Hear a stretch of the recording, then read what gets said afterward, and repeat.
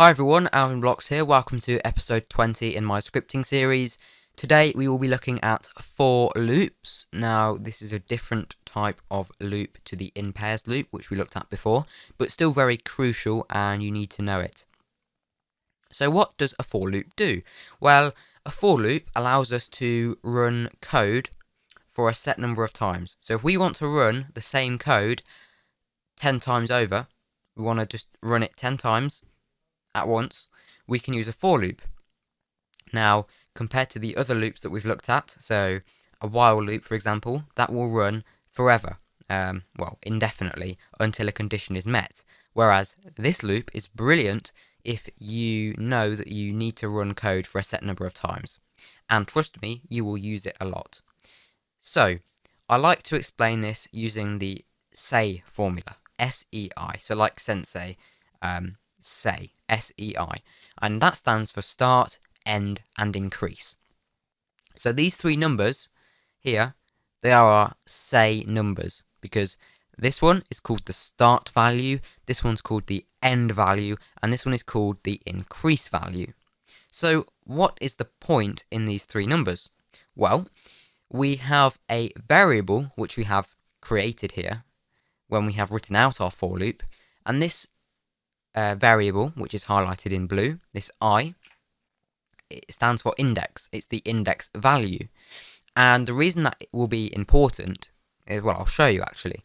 So if I just, actually, I won't do that. What I will do is I will tell you that this i variable here, it's, it is a variable, so um, just without all the local stuff because it's a part of this for loop, it holds a number.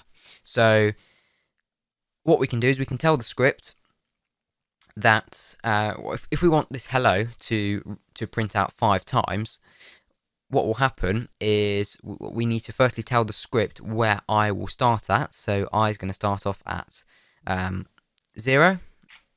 Uh, in fact, we'll start it off at one. We then want it to end at five.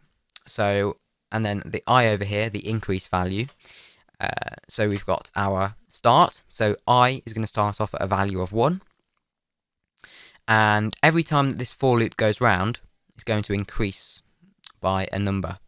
And when it gets to 5, it's going to end the for loop. And the number that increases by each time is this one here, the increase value. So this 1.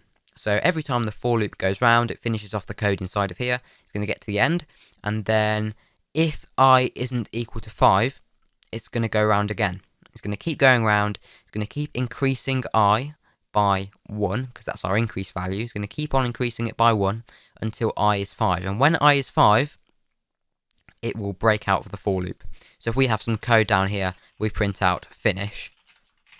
Okay, that will only print out when this for loop has completed because we start off here, we then run the code which is inside of the for loop. When that's finished, well, we'll obviously get to the, the end, but we'll realize that we that i isn't hasn't uh, hasn't reached its end value yet. So we will just go straight back to the top. i will then increase, so it will be uh, i plus 1 because i is our increase value, and then it will keep on doing that until i is 5. Now, this can sound quite confusing, but we will do a couple of examples to show you. So let's print out hello, and we'll also print out the i value, and this should make it clearer for you. So what should happen is it should print out to begin with hello 1, because our i variable, its starting value is going to be 1. So when we begin, i is going to be equal to 1. Then, when we've run this, this print line, we will get to the end and we'll head back to the start. And then because i hasn't already become 5 yet, we're still at 1 because that's our starting value, we increase it by 1 because we're on the second time now, so i is now 2.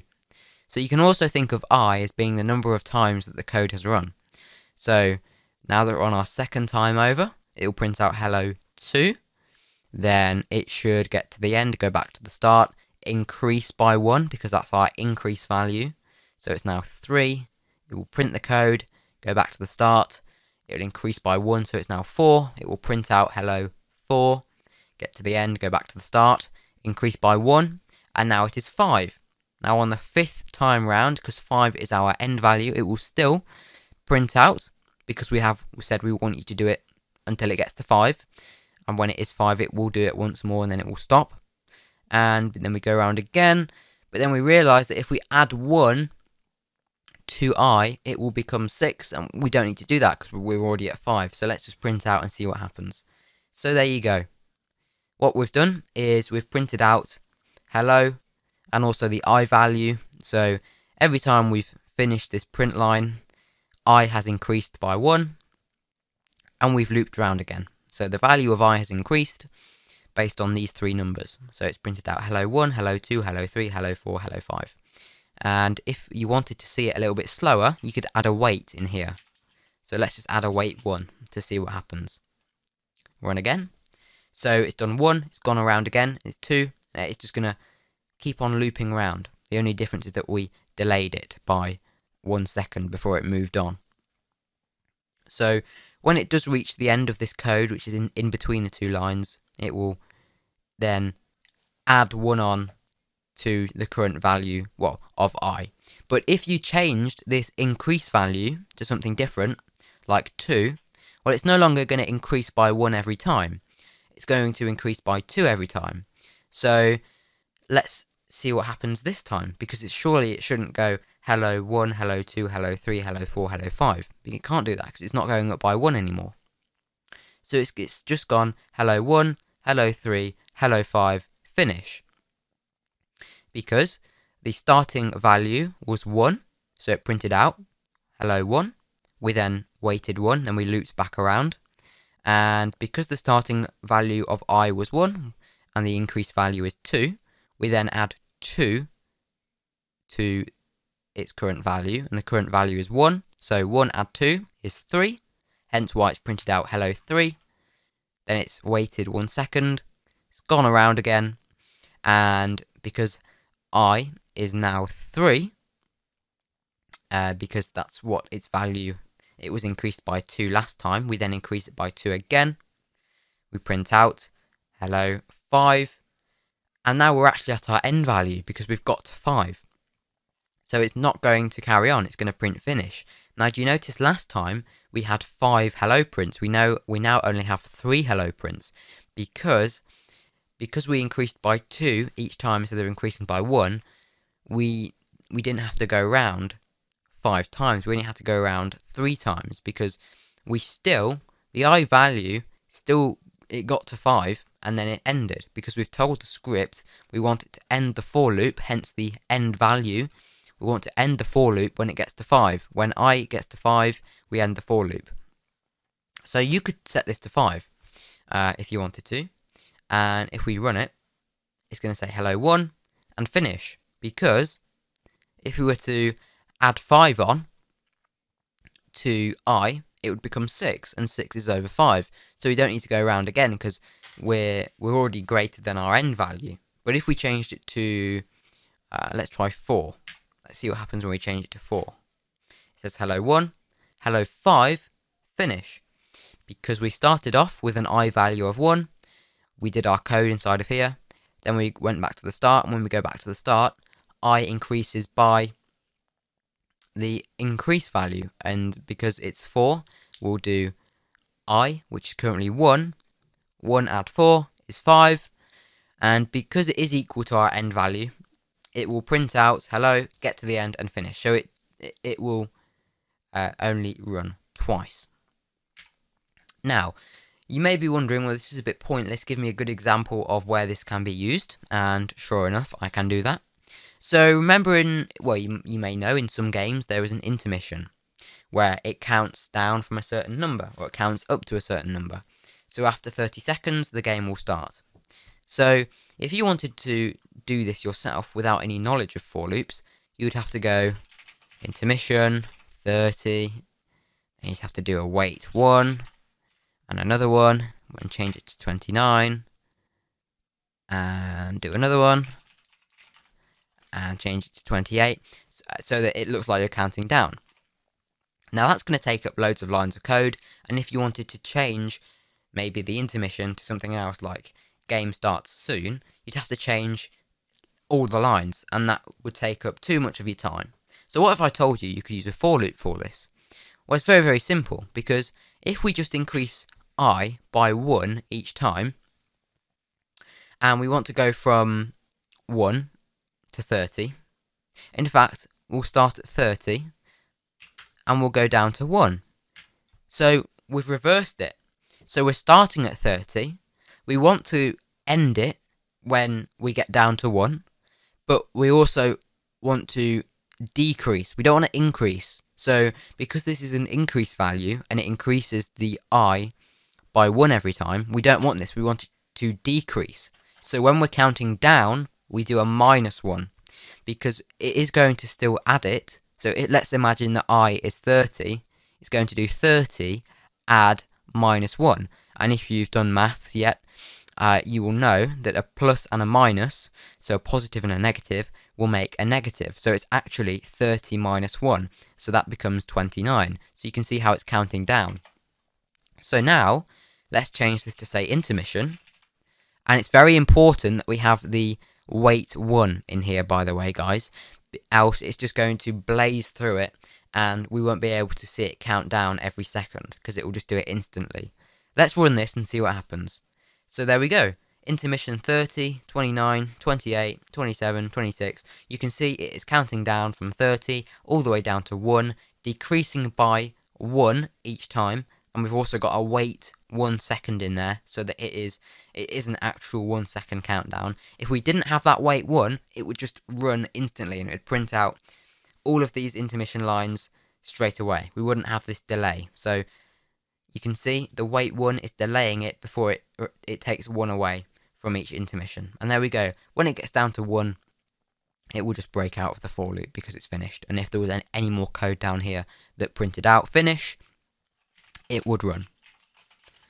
So you can also change, we can change the wait and we can see it happen um, 10 times faster or however many times faster. There we go. And you can see when it got to intermission 1, it broke out of the for loop and it just carried on with the rest of the code. So this, this is great if you had some code down here which is going to run your, your main game script because that will just happen as soon as the for loop is finished.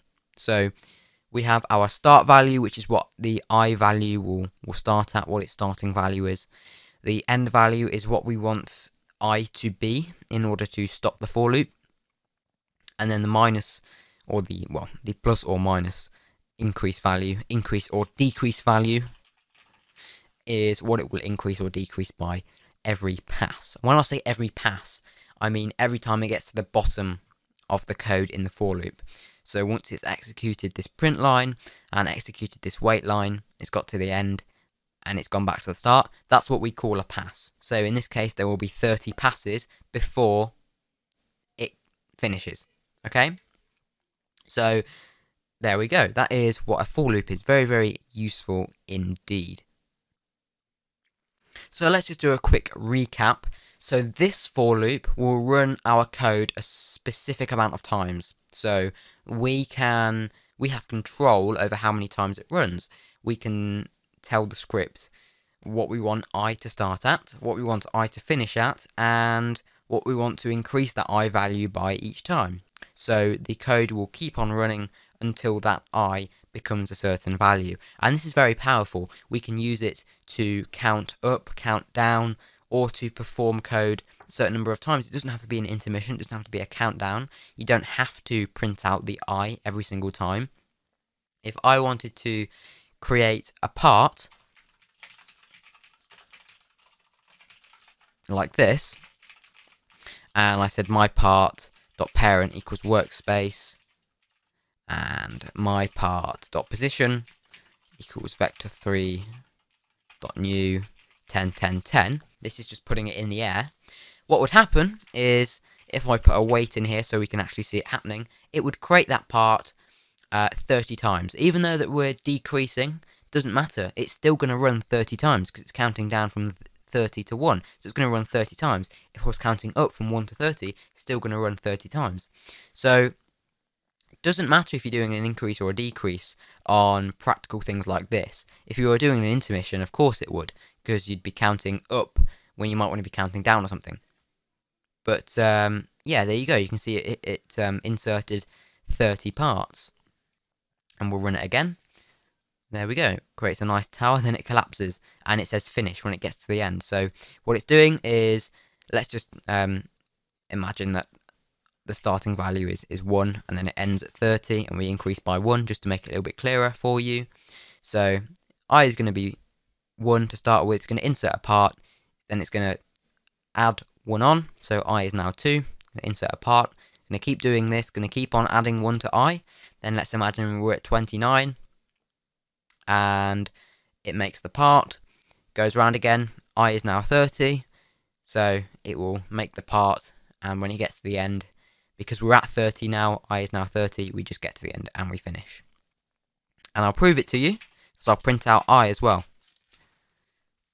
So let's look at the output as it generates these parts, so we can see how many parts it has generated, gets to 30, and then it finishes because it breaks out of the for loop. So very, very useful. So just to conclude, For loops, they repeat code a certain number of times, a specific number of times, and we have complete control over that. We have control over what it increases by each time. So if I was to change this increase value to 2, so I would increase by 2 every pass, it's actually going to run 15 times.